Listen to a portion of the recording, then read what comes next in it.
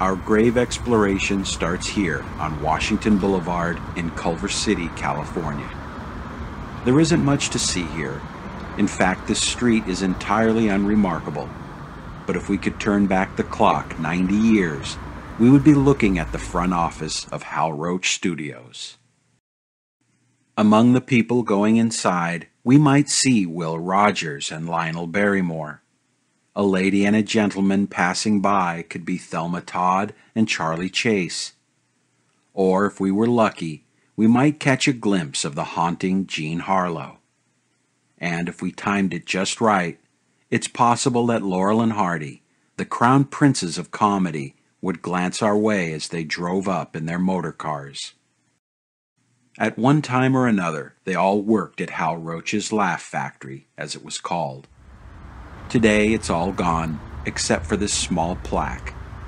But for one all too brief period of time, some of the most beloved comedies were made right here. The films that have stood the test of time were those made by Stan Laurel and Oliver Hardy. They appeared together in over 100 short and feature films and are regarded as the greatest comedy duo of all time. But by no means did they achieve this alone. Through it all, they were joined by scores of writers, directors, musicians, and actors who worked tirelessly to bring laughter to the world when it needed it the most. Some of their co stars had been famous in their day, but most were bit players or character actors whose faces were more recognizable than their names. But today, these talented people are almost entirely forgotten. But we're going to change that in the course of a two part video series. We will travel to cemeteries across Southern California and visit their final resting places and examine their lives and look at the contributions they made to the work of Laurel and Hardy. All right, let's dust off our derbies, fire up the old Model T, and come walk. No, Come laugh with me as we travel far and wide into the slapstick world of Stan and Ollie.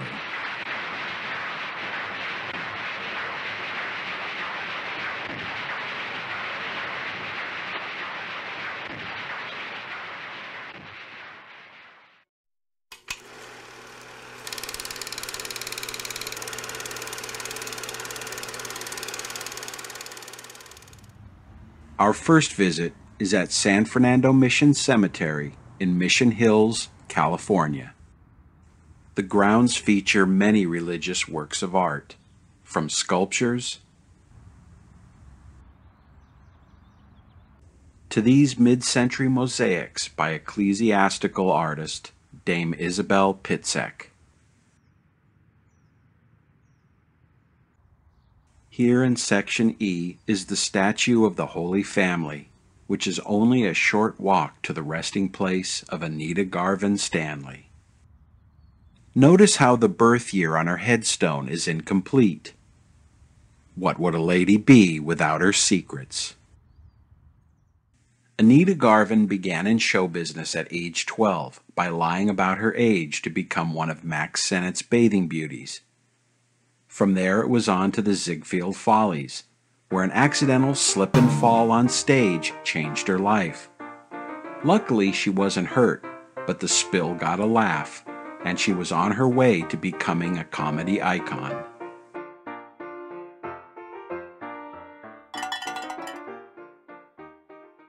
Later, she signed with Hal Roach Studios and would appear in 11 Laurel and Hardy films, from Love and Hisses in 1927 to A Chump at Oxford in 1939. The six foot tall Anita Garvin was teamed with four foot eleven Marion Byron in a short series of films that were a female version of Laurel and Hardy. Perhaps her most memorable appearance with the boys was in Blotto, produced by Hal Roach in 1930. She plays Stan's ever watchful wife, who wants to keep him from going out with his ne'er do well friend, Ollie. The boys concoct an idea whereby Stan can slip away on the pretext of being called out on important business.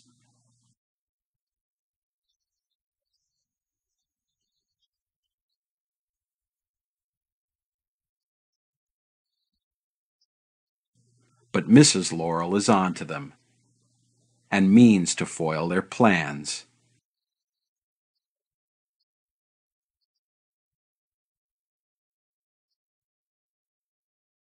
With the country still under the yoke of prohibition, the boys try to be as discreet with the bottle as possible, which goes off in hysterical Stan and Ollie fashion.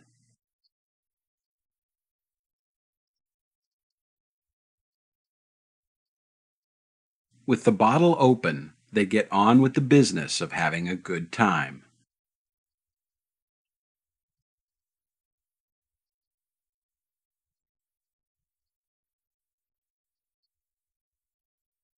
A while later, Mrs. Laurel arrives at the nightclub, just in time to hear them getting in a hearty laugh at her expense.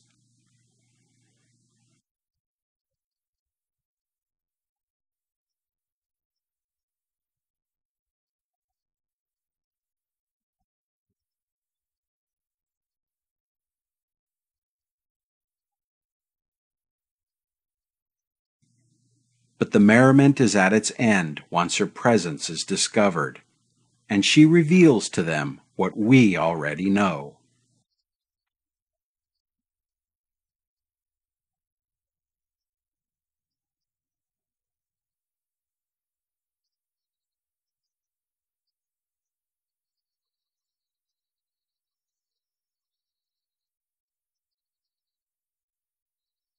And then she reveals another surprise. She's a crack shot.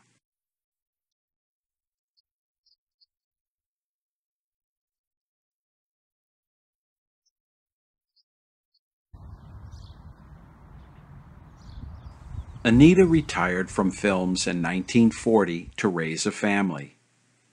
In later life, she became a regular attendee at meetings of the Sons of the Desert an organization dedicated to preserving and advancing the memory of all things Laurel and Hardy.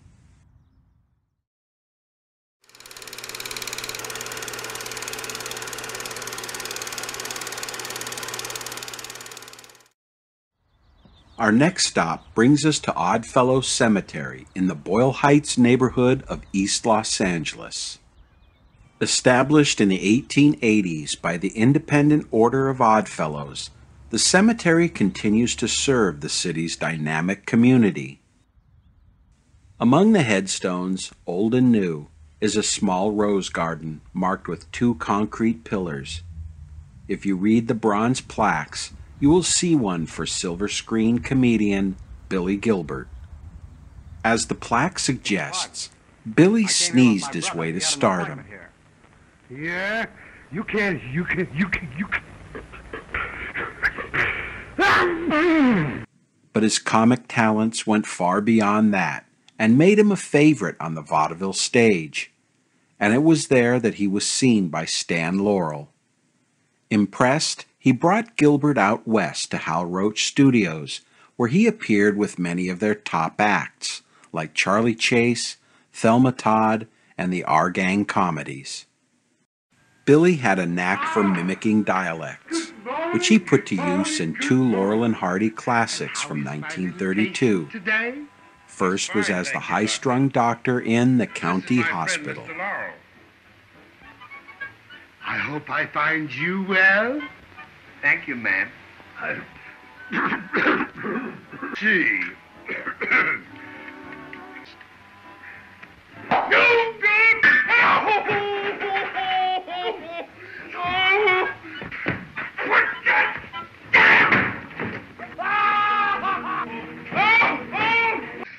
And then, as the piano hating, axe wielding Professor von Schwarzenhoffen in the Academy Award winning two reeler, The Music Box. Take care of you! I'll take care of you! You a lesson!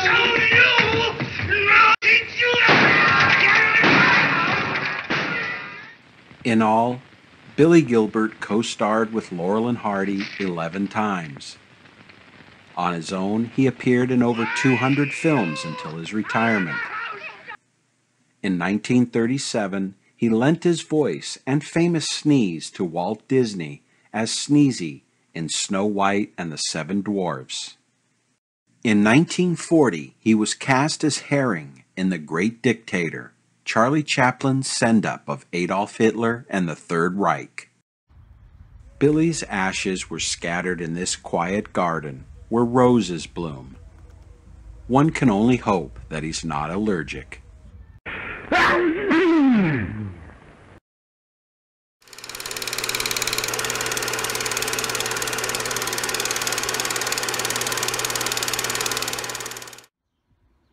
Our walk continues at Valhalla Memorial Park in North Hollywood, California. If you've been following my videos, you might remember this location. In case you haven't seen my previous exploration here, I will include a link to take you to it. Valhalla is significant for being the resting place of Oliver Hardy, who we will visit in the next video in this series. Sorry, Ollie. Two of Babe's frequent co-stars share resting places here as well. The first is Sam Lufkin, who after a few minor scrapes with the law as a youth traded his hometown of Salt Lake City for Hollywood, where he worked odd jobs until finding his way into motion pictures, playing bit parts. While at Hal Roach Studios, he worked with Laurel and Hardy in 39 films. His stony features were perfectly suited for playing menacing cops, which he did to wonderful effect in The Music Box. Are you going to stand for that? Say, listen. If he'd have said one more word to me, I would have. now let that be another lesson to you. Say, listen. Don't you think you're bounding over your steps? What do you mean bounding over my step? Why, he means uh, overstepping your bounds. oh. now let that be a lesson to you. In all, Sam appeared in 170 films, working until his untimely death in 1952.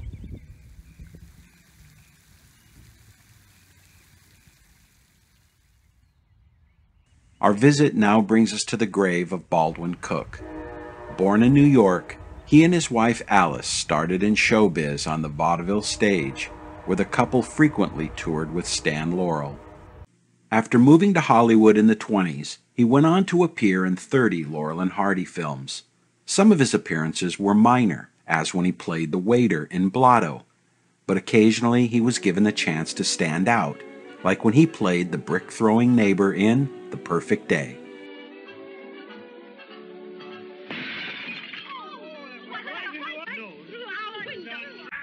Hello, is this you, Ollie? Hello, Cookie. In? Be Big, Baldwin plays the boys' lodge brother, who persuades them to concoct a story to break off plans with their wives so they can attend a stag party instead. Yeah, the whole gang are here in full regalia and we're waiting for you. I'm sorry. We've made arrangements to take our wives to Atlantic City for the weekend, and nothing can stop it. As encouragement, he offers this nugget of wisdom. Remember the old saying, no man is bigger than the excuses he can make to his wife. So don't forget, be big. Get me? Be big. What could possibly go wrong? Right?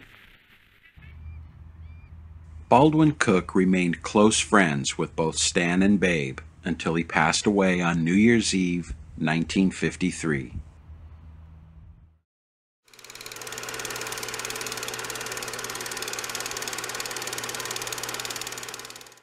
Our travels bring us now to Hollywood Forever Cemetery in the movie capital of the world. The list of famous names interred within its gates is seemingly endless, but the cemetery dates to a time before the first studios opened for business in the city. Our first visit brings us to the south wall that separates the cemetery from Paramount Studios, and here we find Harry Bernard. He was a veteran actor who got his break in pictures with Mack Sennett. His association with Hal Roach and Laurel and Hardy began in 1928 with Two Tars and continued through 26 films. He is most commonly seen playing befuddled cops, as in Our Relations. Could you tell us where Danker's Beer Garden is? Sure. Just around the corner there. Thank you.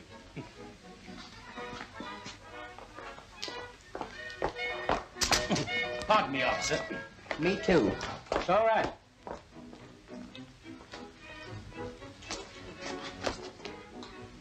Harry's final appearance with Stan and Ollie was in Saps at Sea, released the same year as his untimely death.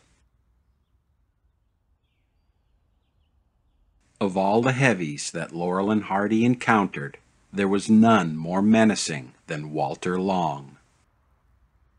Known for playing villains, Walter Long's versatility allowed him to work in both drama and comedy genres. His busy film career reached back to 1910, and he can be seen in such films as The Birth of a Nation and alongside actors like Rudolph Valentino and John Barrymore. Between 1931 and 1934, he made five films with Laurel and Hardy, and unlike their usual foils, Long brought unpredictability and danger to his performances. What are you in for? We're a couple of beer barons.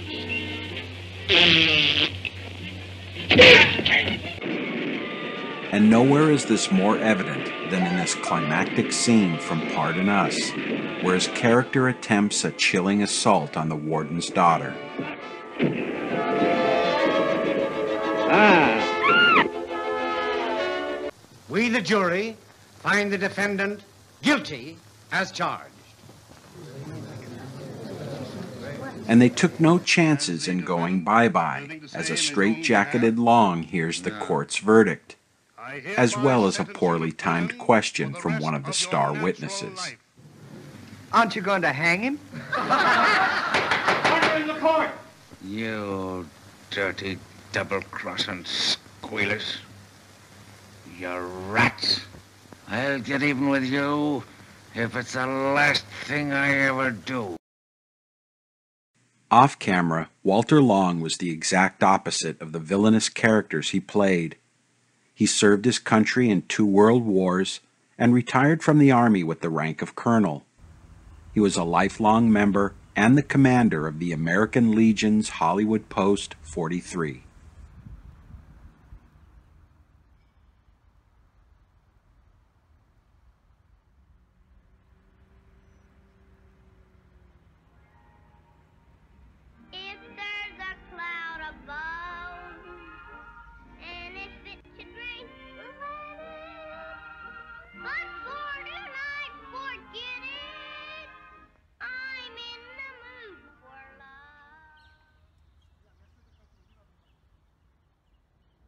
The Paramount Studios water tower is in clear view from the resting place of veteran character actor Charles Middleton.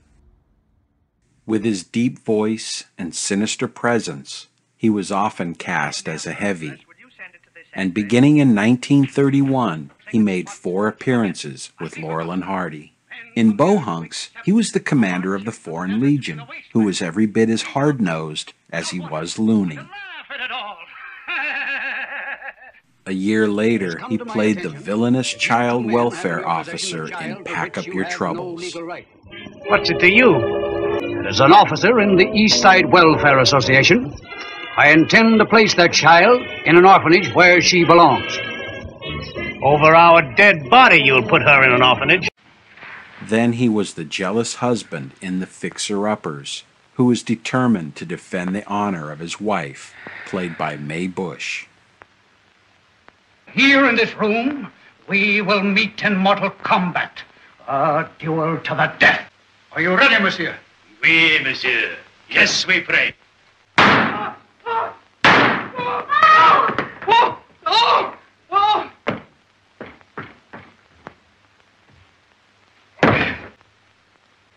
We've got to get out of here. Not until I dispose of the body. I'm going to cut him up into little pieces. Middleton's last co starring role with the boys was in The Flying Deuces in 1939. By then, he was already well established in the role of evil Emperor Ming in the adventure serial Flash Gordon, starring Buster Crabbe.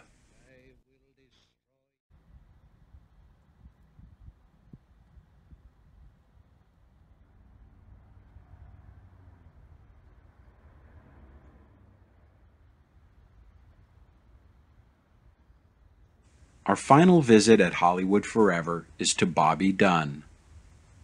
With more than 250 film credits reaching back to the early silent days, he appeared with some of the greatest comics of the day, like Fatty Arbuckle, Harold Lloyd, Ben Turpin, and W.C. Fields. How do you do? Who's that fella? He began his performance career as an acrobat, doing leaps and jumps at amusement parks, until an accident resulted in the loss of an eye. The glass eye he wore thereafter gave him a distinct appearance that he used for laughs, as we can see in Me and My Pal. Bobby made 10 films with Laurel and Hardy and had a memorable part in Tit for Tat as the kleptomaniac who cleans out Stan and Ollie's electronics store while they carry on their feud with Charlie Hall. How do you do? One of Bobby's final screen appearances before he left us at the young age of 46 was in 1937's Way Out West.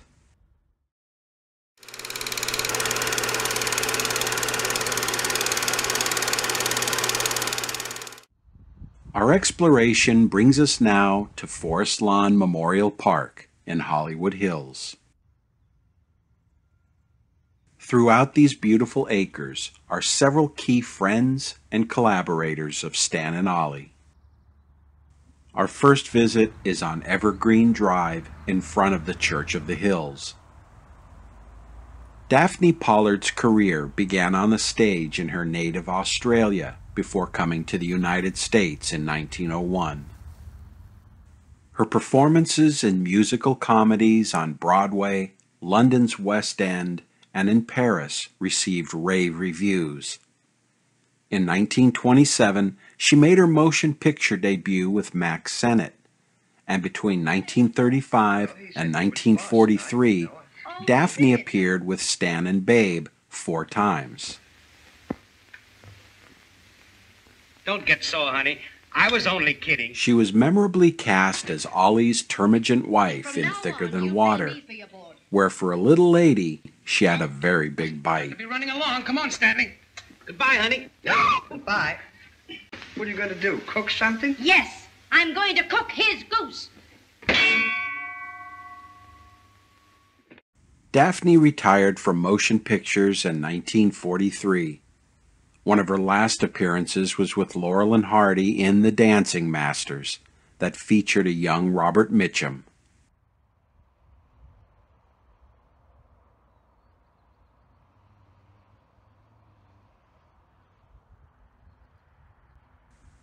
Charley Rogers has nearly 30 Laurel and Hardy credits in three different categories acting, writing, and directing. In Double Whoopee, he is seen fawning over a prince styled after Erich von Stroheim. He had them running for cover as the parson in The Perfect Day.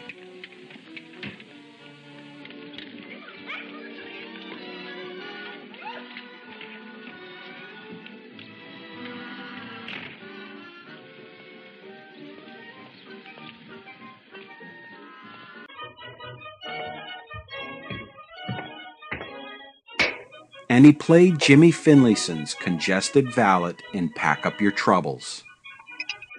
Rogers, do you smell anything? Dose. I've got a cold in my dose. Hmm. Uh, no grapefruit this morning, Rogers. Charley appeared with other Hal Roach stars as well, including Harry Langdon in the early 1940s. As a writer, he contributed gags to Laurel and Hardy and to other Hal Roach productions.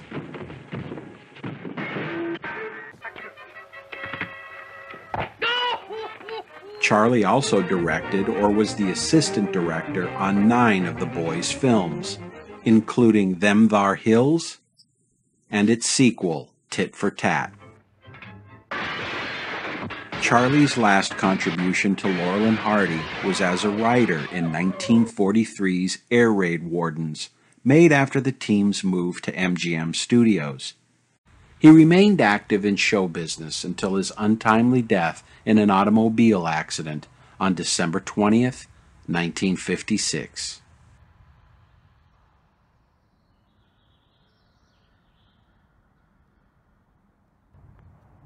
In Forest Lawn's Court of Remembrance is the resting place of Liberace, music's flashiest, if not greatest showman. And if you look to the right from his sarcophagus, you will find another musician who has cemented his place in the hearts of all Laurel and Hardy fans.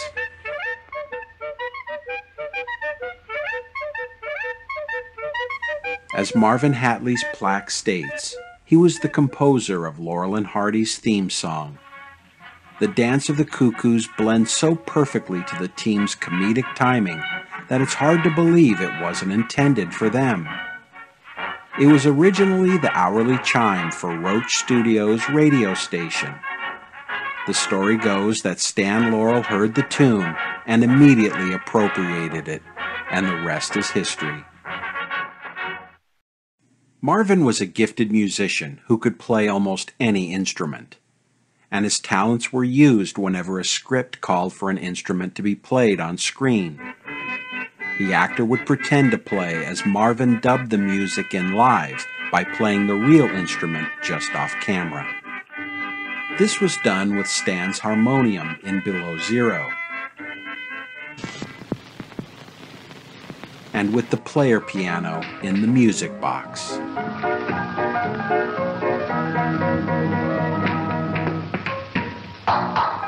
Marvin had a busy career with Hal Roach, composing hundreds of scores, songs, and incidental pieces. Some of his songs include Honolulu Baby for the Sons of the Desert and Will You Be My Lovey Dovey for Way Out West.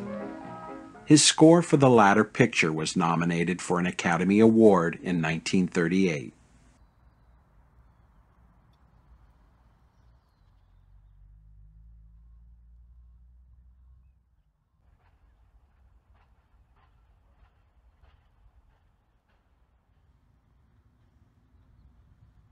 As our exploration continues, we come to writer-director Hal Yates. He had only one credit with Laurel and Hardy as the director of 1927's Hats Off. The story revolves around Stan and Ollie as door-to-door washing machine salesmen who must lug their stock up a long flight of stairs. Later, a mix-up of hats turns into a small riot on the streets of Culver City. Sadly, no prints of the film that co-starred James Finlayson and Anita Garvin are known to exist. All we have are these few production stills that give us a glimpse at what it looked like.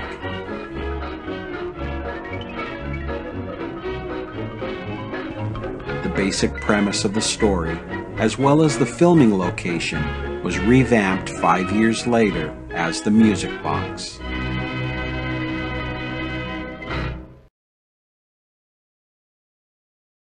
Hal Yates' career behind the camera lasted until early television when he directed episodes of the series My Little Margie, starring Gale Storm.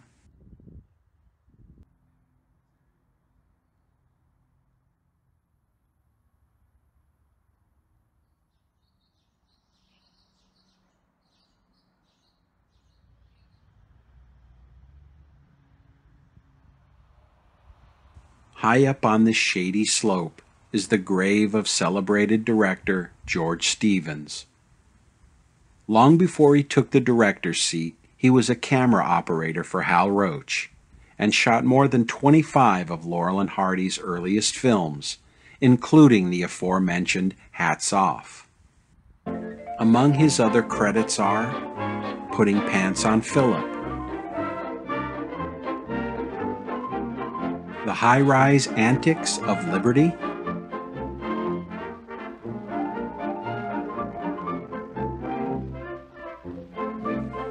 as well as the boys' two early hits, Big Business and Two Tars.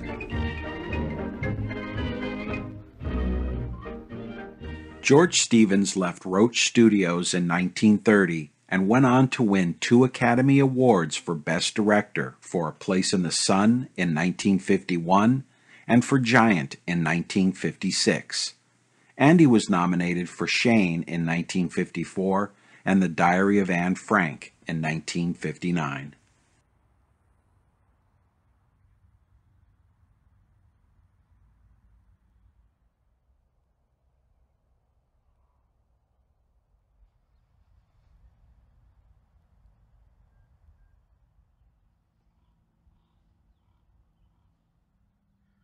Forest Lawn in Hollywood Hills is also the resting place of Stan Laurel, who occupies a scenic spot in the Court of Liberty.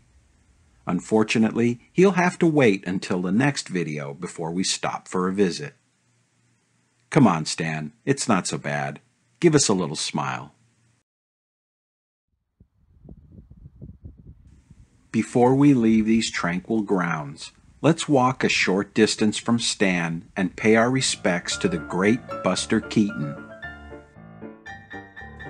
He never worked with the boys, but they shared a deep mutual admiration for one another. Buster is a sorely underrated comic genius whose influence is still felt in the present day. He had no equals, only imitators. May he rest in peace.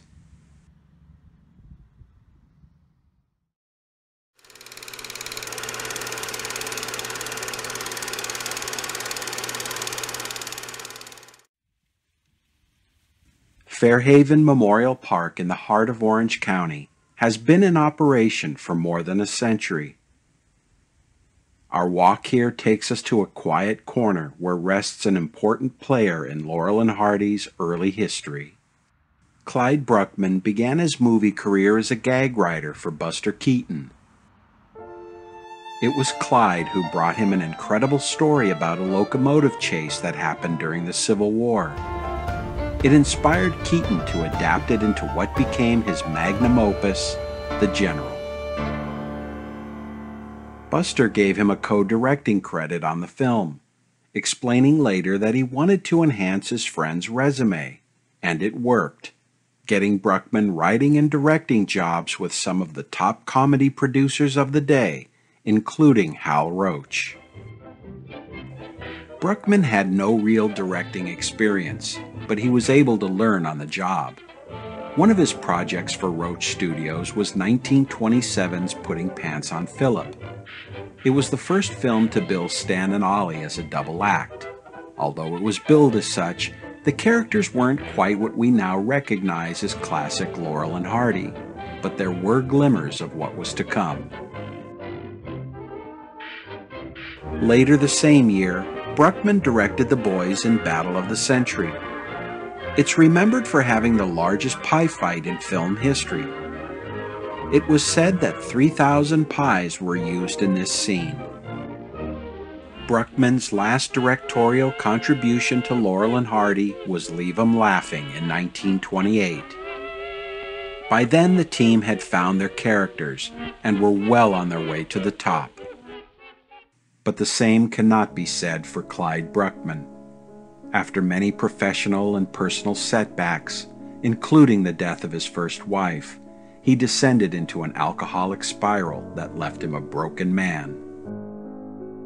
During the holiday season of 1954, Clyde went to see his old pal and mentor, Buster Keaton. Before leaving, he asked for a pistol to take on a hunting trip he had planned.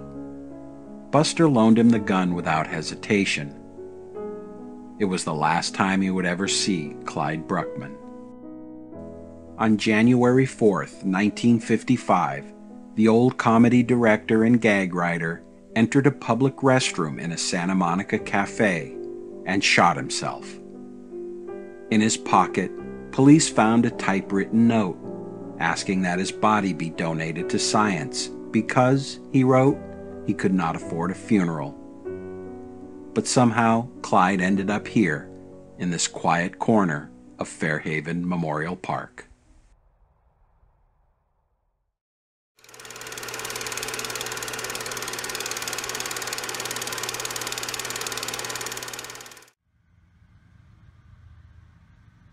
Grandview Memorial Park has been serving the city of Glendale since 1884.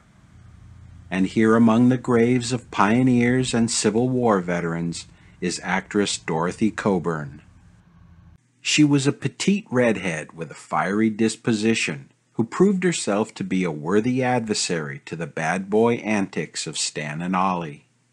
In Putting Pants on Philip, Dorothy is pursued by girl crazy, kilt wearing Stanley and manages to quash Oliver's flirtations with a quick flick to the proboscis.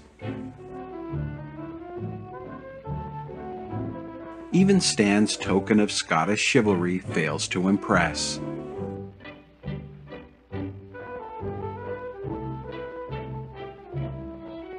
Oh well, better luck next time.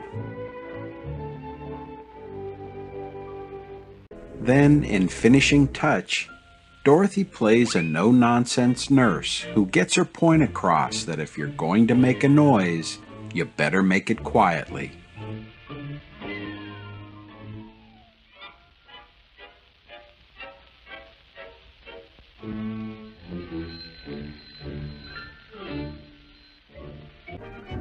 Dorothy was an experienced athlete, and whether the part called for her to fall in wet plaster or get plastered with pies, splashed with mud, or wrestle a Stone Age Stan Laurel, she was up for it.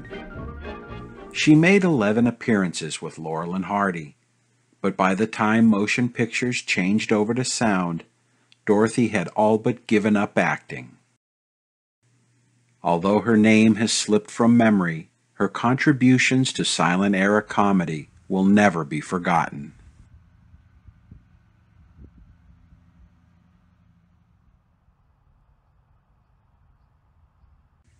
In Grandview's mausoleum are two giants of silent movies.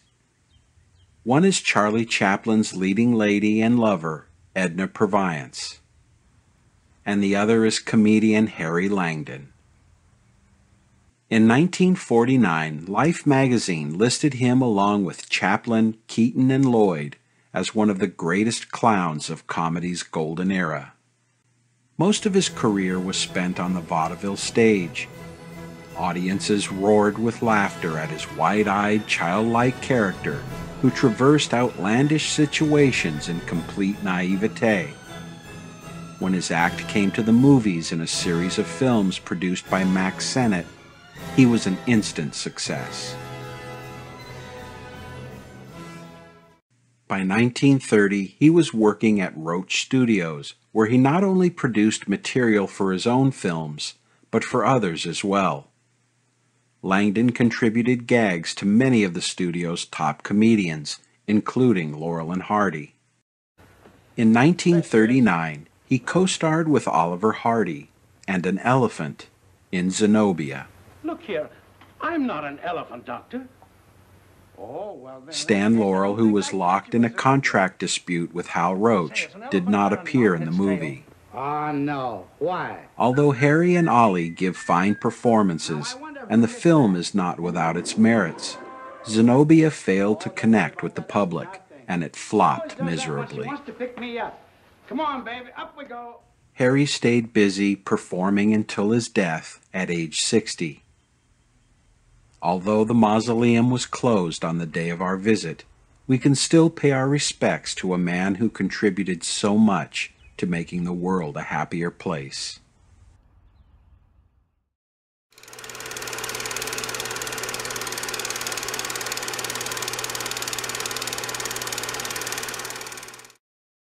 As our walk continues, we come to Holy Cross Cemetery in Culver City, California, which is only a few miles away from where Hal Roach's Laugh Factory was located. Opened in 1938, Holy Cross is the resting place of many Hollywood greats, from Bing Crosby to Rita Hayworth and John Ford to John Candy. The centerpiece of these peaceful grounds is the Grand Mausoleum. Our first visit is to James Morton, who appeared in nine Laurel and Hardy films, especially when the part called for a policeman. In Tit for Tat, he settles the long running feud between Charlie Hall and the boys. He did. I did not. You better apologize to this gentleman. I will not. Oh, yes, you will, or I'll run you in. Well, all right. But don't let it happen again. No hard feelings. He also played Jimmy Finlayson's crooked bartender in Way Out West. Hey, this thing ain't working right. It's working all right for me. However, today's comedy fans will most likely recognize him and his toupee from the Three Stooges classic Disorder in the Court.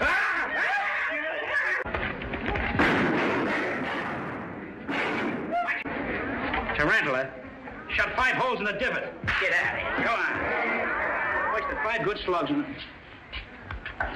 I'll sue you for this. Oh, superstitious, eh? Morton's career spanned 13 years and over 200 appearances in short and feature films.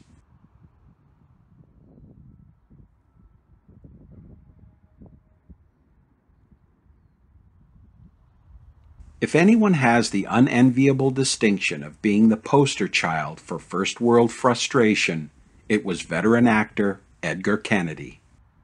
He was the master of the slow burn, whose character was an average Joe who, through a series of mounting frustrations, found himself being driven to the mental breaking point. Did you say something, Mr. Kennedy? Yes. Wait till I get my hands on that brother-in-law of mine. He's responsible for this. Beginning in 1928, producer Hal Roach matched Kennedy's talents as a human pressure cooker with the dim-witted antics of Laurel and Hardy. He made nine films with the boys, and among his memorable appearances is as the gout-suffering Uncle Edgar in 1929's Perfect Day.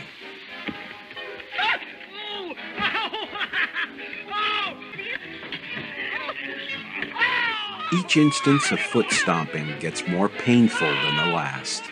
Pull it out. Also in 1929, he played Thelma Todd's misbehaving husband in Laurel and Hardy's first talkie, Unaccustomed as We Are. So, little Dicky Bird is waiting. well, you don't, you don't understand. Edgar also worked behind the camera, directing two of Laurel and Hardy's silent two-reelers, From Soup to Nuts and Your Darn Tootin'. Kennedy appeared in hundreds of films, with a vast array of talent, from the Marx Brothers to Rex Harrison.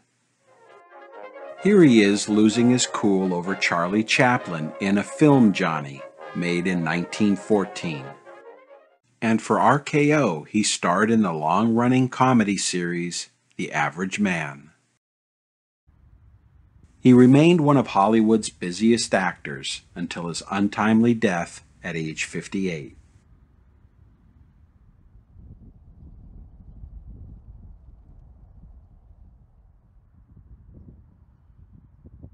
Academy Award winning director Leo McCarey is probably best known for directing the 1957 romance An Affair to Remember, starring Cary Grant and Deborah Kerr. He has Best Director Oscars for The Awful Truth and Going My Way. Like George Stevens, McCarey honed his trade working for Hal Roach Studios in the silent movie era. While there, he primarily worked with comedian Charley Chase. However, he directed three Laurel and Hardy pictures We Faw Down, Liberty, and Wrong Again. In addition, he either wrote or supervised direction on many of their other projects. From Stan and Ollie's first pairing, McCarey recognized the chemistry they had together and helped develop them as a team. Your good friend, director Leo McCarey.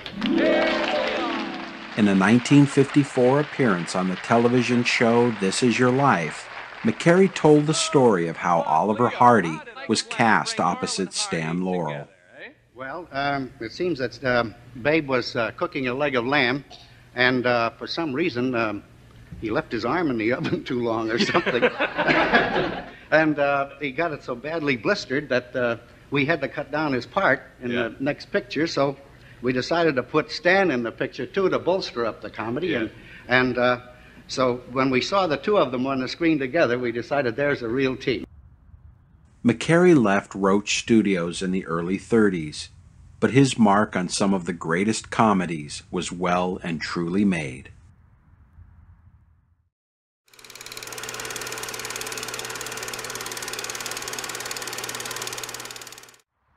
Located in LA's posh west side, Los Angeles National Cemetery was dedicated in 1889 and is the resting place of military veterans from the Mexican American War to the present day. Beneath the flagpole in the heart of the cemetery is the columbarium. Inside rests Arthur Housman, a U.S. Navy veteran of World War I, but movie fans will likely recognize him from his staggering number of film appearances. And I do mean staggering. My face is clean. For more than a decade, Artie Housman made a career out of playing drunkards on the silver screen. When you come back, we'll have a drink. Okay, it's the best offer there. He began acting on the New York stage when he was still a teenager. In 1912, he began making films for Edison Studios. When Edison began experimenting with the kinetophone, an early attempt to make talking pictures, Artie's face and voice was featured front and center as the interlocutor in Edison's Minstrels, produced in 1913. Grand finale by the entire company. He appeared in supporting roles throughout the 20s. By the end of the decade, he almost exclusively played good natured drunks, and would do so until the end of his career. I wouldn't see a dog stay out on a night like this. Thank you. In 1932, he made his first appearance with Laurel and Hardy in Scram. Might I ask what you're doing here? Isn't this my house? It certainly is not. Maybe I better go then. Maybe you had.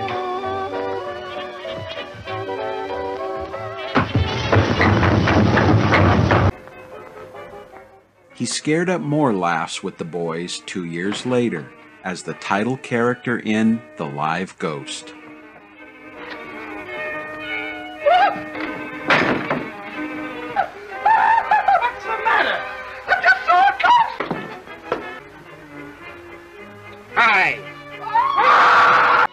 Artie made three more pictures with Stan and Ollie, but only in brief cameos. His last was as, you guessed it, a drunk in 1939's The Flying Deuces.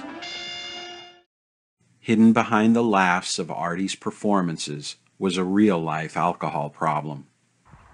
He died at age 52 after contracting pneumonia. And although the columbarium is closed, we can still honor a very funny man who left his mark in comedy history.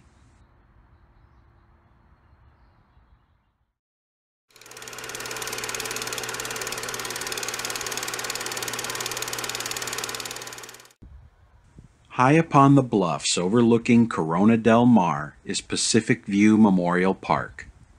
Its lush grounds, swept by ocean breezes, is the very picture of serenity and is the perfect setting to reflect on the two players in Laurel and Hardy's story who rest here.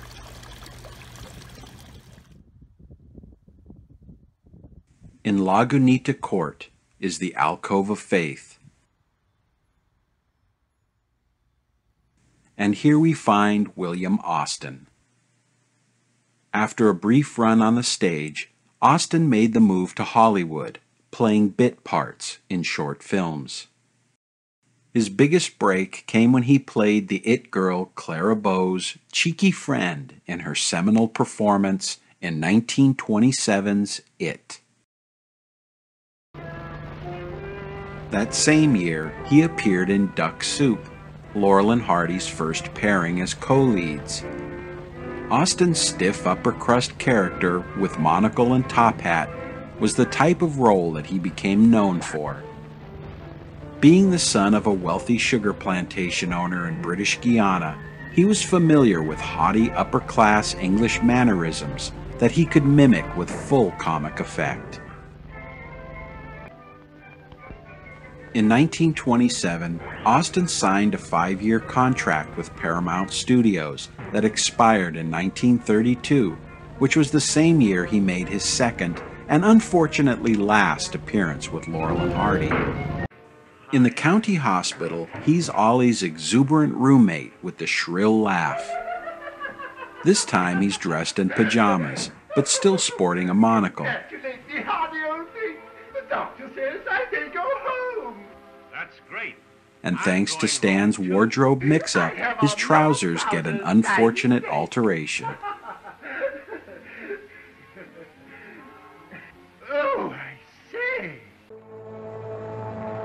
The role that William Austin is perhaps best remembered for today is as Bruce Wayne's loyal butler Alfred in Columbia Pictures' 1943 serial Batman. The curse of the Tottenhams. By 1950, Austin had drifted away from Hollywood and lived a long, quiet life near the California coast.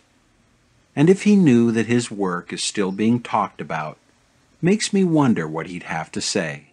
Perfectly ripping. I'm all supper.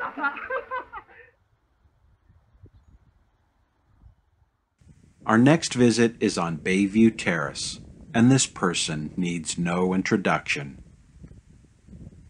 1949 was a busy year for John Wayne. He had three films released that year The Sands of Iwo Jima, She Wore a Yellow Ribbon, and the self produced frontier adventure Strange Caravan. The project included a surprise bit of casting. Playing John Wayne's sidekick and comic relief was Oliver Hardy. When the picture was released, it had a new title, The Fighting Kentuckian, and opened to favorable reviews. Reporters noticed the absence of Stan Laurel, and Ollie had to frequently deny rumors that they were no longer working together. He said that he made the film with his partner's blessing, and the split was only temporary until they could get more projects lined up. He added that his entire salary was going into their joint corporation. John Wayne, who was a personal friend of Babe, is said to have enjoyed their on screen chemistry so much that he offered to make him his permanent sidekick. But Ollie humbly declined, citing that he already had a partner. John Wayne was already a big star in 1949, yet some of his most important films were still ahead of him. He received an Academy Award for Best Actor in 1970 for True Grit. But by then he had long been an icon of Hollywood's golden age and was, and is, the greatest film cowboy of all time.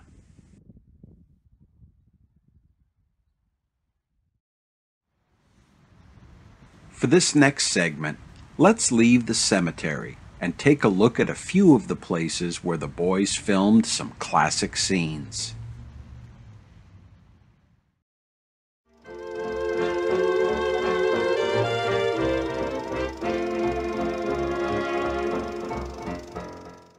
Years after Stan and Ollie retired and passed on, a small number of devoted fans who had only seen their films on television were curious to discover what remained of the places where their favorite movies were made.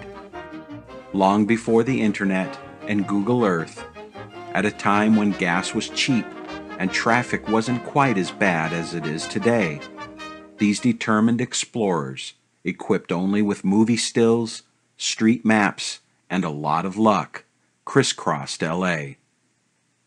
Their first and most obvious location was Culver City, the home of Roach Studios and the backdrop for many of its films. Culver City was incorporated in 1917 and was the brainchild of real estate developer Harry H. Culver. Today, this statue of Harry is located at another brainchild of his, the Culver Hotel. Built in 1924, the hotel was at the epicenter of the motion picture industry that grew in the area. Consequently, it became a popular hangout for many Hollywood A-listers. Today, the Culver Hotel is recognized as a historic landmark, which is owed in part to its being used in many classic films. Laurel and Hardy fans should have no trouble recognizing the front entrance from two silent classics, Leave 'em Laughing and Putting Pants on Philip.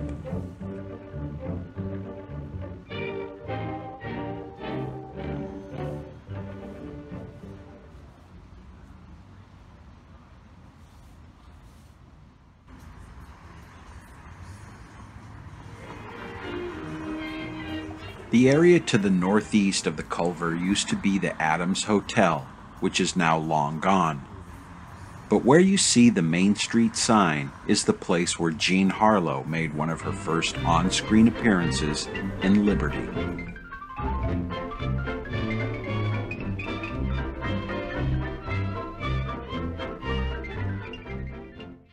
A block to the north of the Culver Hotel, at Bagley Avenue and Venice Boulevard, is a more obscure but no less famous location. Famous because the film in which it appears is now lost. It's where the climax of the fabled Hats Off took place.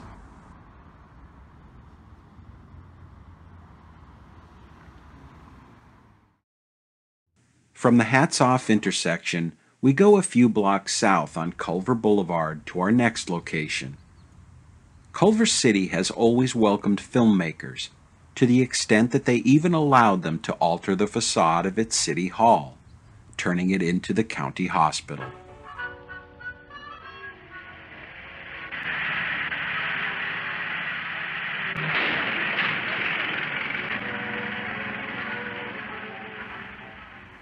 The old Culver City Hall was replaced, but a recreation of the classic facade stands in the original footprint.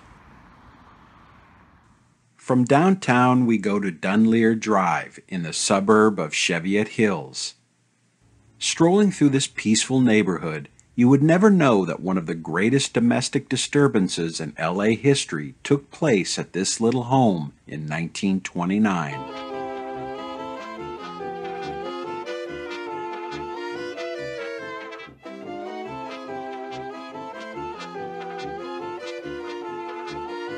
The film was big business, and it shows that the stock market wasn't the only thing to crash that year.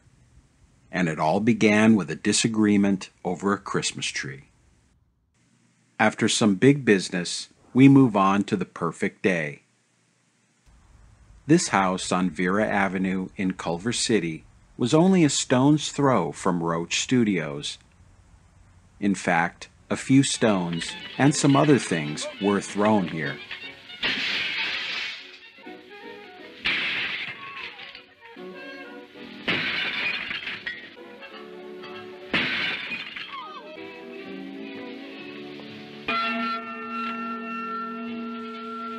And then the family Model T exploded. And it happened all right here in front of this little house. Some of Stan and Ollie's filming locations are so iconic that they can be called characters in their own right. There is no truer example of this than a set of stairs found just off Sunset Boulevard in the community of Silver Lake. Pardon me, Mr. Postman. Yes, sir. Could you tell me where 1127 Walnut Avenue is? 1127 Walnut Avenue? Yes, sir. That's the house up there, right on top of the stoop.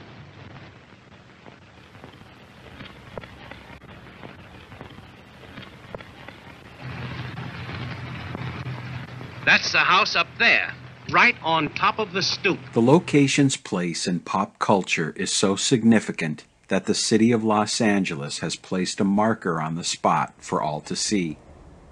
And ever since their rediscovery in the 1970s, the steps are visited by Laurel and Hardy fans from around the world.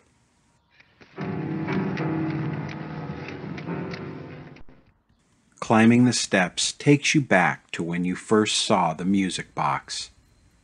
And each step recalls a shared memory for fans who can mark the place where the boys meet Lilyan Irene, and the piano makes its first plunge down to the sidewalk. Would you gentlemen please let me pass? Why, certainly, ma'am. Why, just a moment. Further along, if you pause and listen, you can almost hear them grunt and groan as they carry their heavy burden up and up.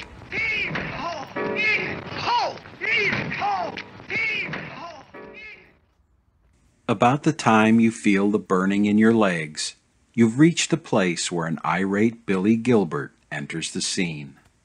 Walk around? Me, Professor Theodore von Schwarzenhoffen, should walk around? Get that thing out of my way! Get out of my way! Come on, get out of the way! You fellas carry that piano all the way up these stairs? You didn't have to do that. You see that road down there? All you had to do was to drive around that road to the top here. When you reach the top, you can finally appreciate that what goes up must inevitably come down.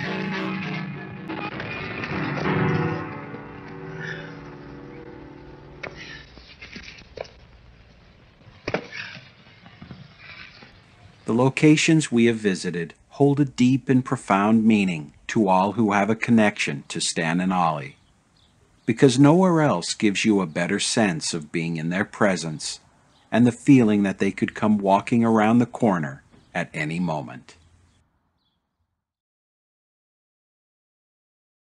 We've come to the end of the first part of our look at Laurel and Hardy's co-stars. I hope you enjoyed our time together, and I also hope you'll stick around when our exploration continues in part 2. We will visit LA's premier burying ground for show business's greatest stars, past and present. Plus, we will pay our respects to those whose final resting places are unknown. From there, we will examine the lives of some key players in Stan and Ollie's career. Finally, our focus will turn to the boys themselves as we look at how they became comedy legends. If you have a favorite Laurel and Hardy film or moment, please share it in the comments. If you enjoyed this video and want to see more like it, please let me know by giving it a thumbs up. And if you're not already subscribed to my channel, please do so now, and be sure to click the notification bell to receive future updates. In the meantime, let's pull our jalopy over to the side of the road and park for a while.